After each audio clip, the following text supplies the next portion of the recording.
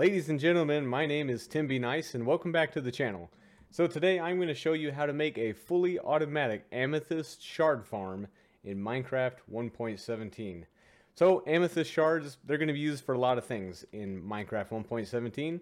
First of all, you're going to need it to craft tinted glass and the spyglass. So if you want to use those things in Minecraft 1.17, you are going to need some type of amethyst shard farm and uh, maybe much like mine.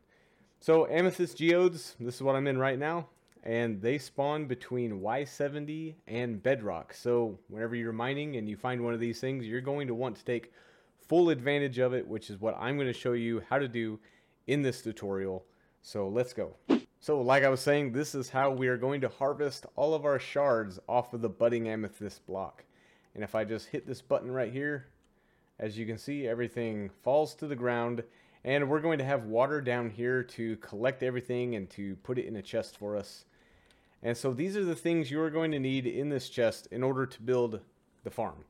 You're going to need five slime blocks, three glass, a piston, a sticky piston, an observer, a button, a chest, a hopper, and water to collect all of our shards. Okay, so now that we have everything we need, first we're going to take a solid block and we're going to put it right there above the amethyst block.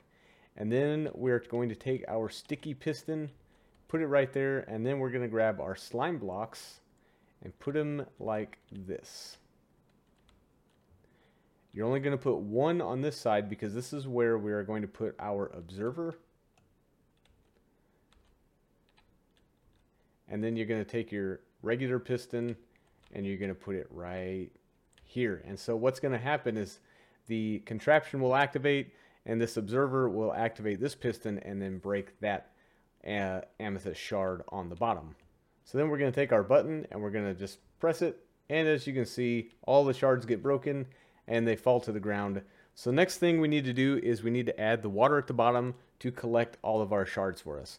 But I'm not going to show that to you here. I'm going to show it to you in another geode that I found and I've already got it all set up. So let's head over there now.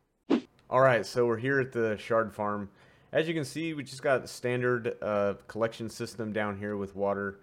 And you might notice there's more blocks here. And this is because uh, sometimes when this is activated, the items of, or the shards, they get stuck on top of blocks like this. So if you just fill it in, you know, that way they won't get stuck on top of things and despawn. Over here we just have a chicken uh, timer system. Uh, this is the extent of my redstone knowledge right here. Uh, I'm not very good at this at all. Uh, but this guy will lay egg. Or wait, is it a girl? Girl chickens lay eggs. so she will lay an egg. It will activate the system. And then the egg will get picked up by this hopper and then chucked into the lava. The reason why we want to do that is that way, you know, if an egg remains there, it won't despawn for like five minutes. So you want to go ahead and make it like that so that way you know, it's not getting activated every so often. So this one wasn't a very big amethyst geode. It only had five uh, budding amethyst blocks, but that's fine. Um, you know, if you find one, I mean, more than likely there's going to be a whole lot more, and there's probably going to be some stuck like that too. So in that case, you're probably going to have to figure out something else, you know, modify your contraption a little bit in order to uh, break more of those shards off.